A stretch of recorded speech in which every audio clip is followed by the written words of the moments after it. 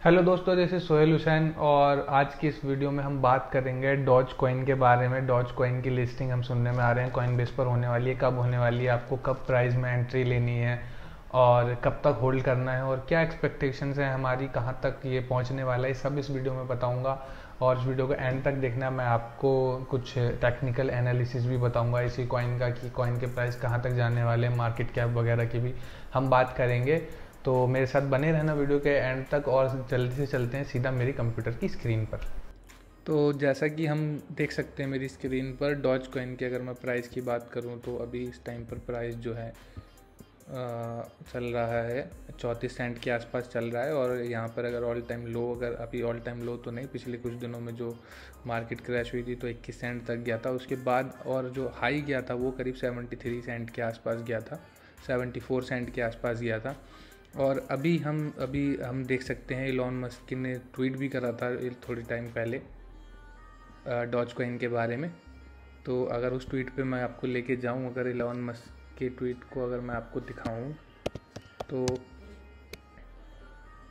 Elon Musk के tweet के बाद तो पूरी मतलब बिटकॉइन का प्राइस भी काफ़ी ज़्यादा पंप हुआ। उससे पहले भी उन्होंने कुछ डॉज कॉइन के लिए suggestion some suggestion changing Dogecoin fees based on phases of the moon which is pretty awesome तो कुछ अपने डेवलपर्स वगैरह से उनकी बात चल रही है डॉज कॉइन को लेके अब कुछ शायद तगड़ा प्लान कर रहे हैं। अब ये देखो, उससे पहले भी एक ट्वीट आया बीस घंटे पहले डॉज के रिलेटेड और उससे पहले जब ये बीस घंटे पहले ये ट्वीट आया था, तब से ही मार्केट में थोड़ा बहुत हमने देखा कि प्राइस बिटकॉइन की प्राइस में काफ़ी ज़्यादा पंप हुआ।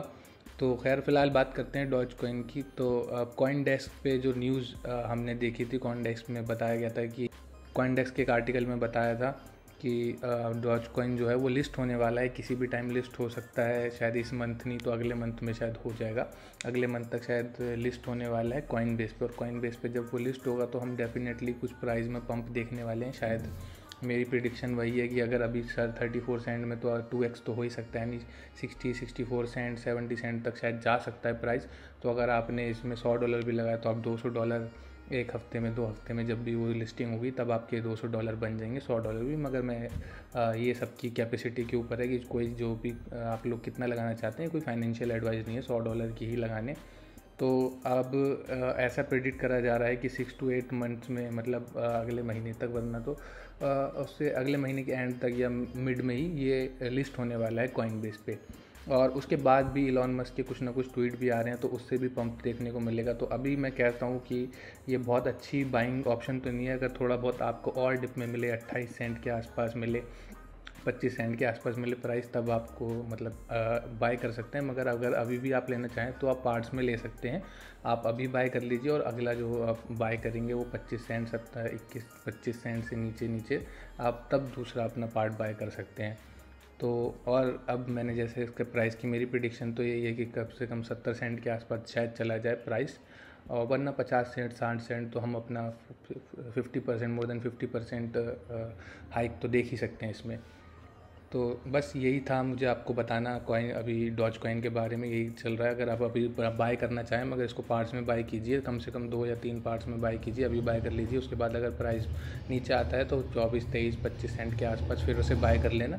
और वेट करना इस मंथ के एंड तक आ, आ, मुझे उम्मीद है कि इसकी प्राइस बहुत ही जल्द बढ़ने वाली है। और अगर इलॉन मस्क ने कुछ ट्वीट कर दिया तो वो पहले पहले भी बढ़ सकते हैं। तो दोस्तों ये था मेरी तरफ़ से डॉज कॉइन का एनालिसिस और लिस्टिंग के बारे में। हमने थोड़ी बहुत जो न्यूज़ थी वो कवर कर दी है।